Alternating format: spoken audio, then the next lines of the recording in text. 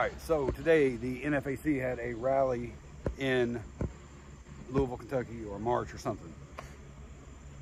Remember them guys, right? They're the ones that the picture's been going around for like a month or two about the guy standing with a 22, uh, 22 caliber AR-15, shells jammed in the chamber, and you know he obviously doesn't know it. So, kind of a joke, you know, for a while. But anyway, so today they do a rally and somebody gets shot. Three people get shot.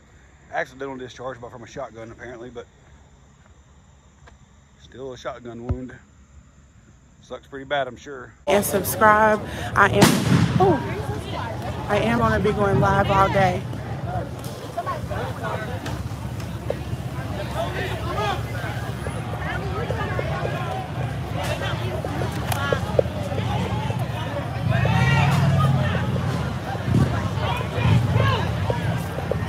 Excuse me. Mommy. It went off. Come over here by Walter. Come over here. Somebody shot themselves. Anyway, so so my opinion on these guys, and I haven't done a whole lot of research, but they seem very organized. They don't seem to be very violent. I'm not saying that they couldn't be, but they they go with a, a purpose and you know they're organized. They're nobody's causing any chaos. You know, I'm, I've not seen anything real bad. Like I said, I might need to do some more research. Maybe you guys know something I don't.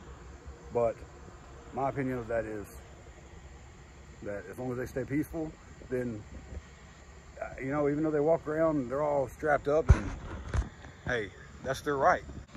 What I do have a problem with though is them marching in front of the KKK headquarters and issuing issuing a warning to all rednecks. So let me explain something. Yeah, to people don't like, that don't like country people don't you know rednecks are bad, but rednecks are not the KKK.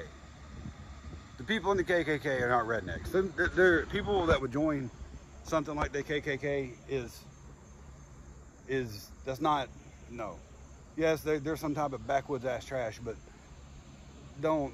It's not the same thing. So don't issue don't issue warnings to all rednecks. Specify that you're you're marching in front of the KKK and you're you're there to deal with those hicks. Okay.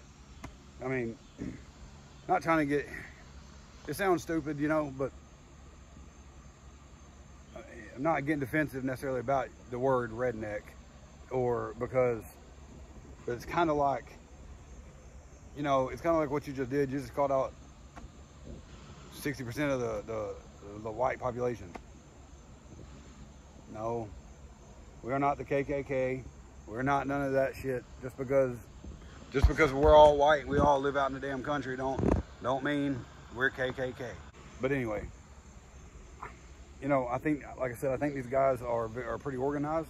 I think they they if they're only really going for justice uh, and they're doing it peacefully, then they're they're doing nothing wrong and they should be able to do that. But like today, one dude shoots three people with one shot. So, hey, I don't know. Like I said, maybe I need to do more research on these guys, but they seem to know, you know, what they're what they're there for. They seem to know what their point is. They seem to have a motive. And so far, I don't see any problem with the way they're trying to get their point across.